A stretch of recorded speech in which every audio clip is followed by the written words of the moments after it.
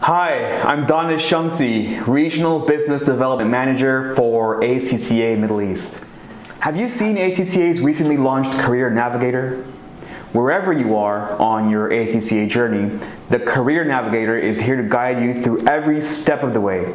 From exploring potential career destinations to acquiring new skills, connecting with the latest jobs or talent, and growing your network, the Career Navigator has it all. As professional accountants, you need to focus on seven core capabilities, which are expertise, insight, ethics, sustainability, digital, collaboration, and drive in order to push your career to the next level.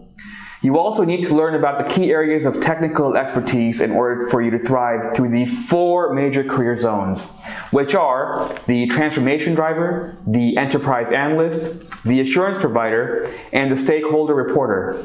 These technical areas cover audit assurance, advisory, consultancy, digital, financial and business reporting, financial management, performance management, risk management, sustainability, and taxation. So whether you know your path and aspirations or need some guidance, the Career Navigator has everything you need.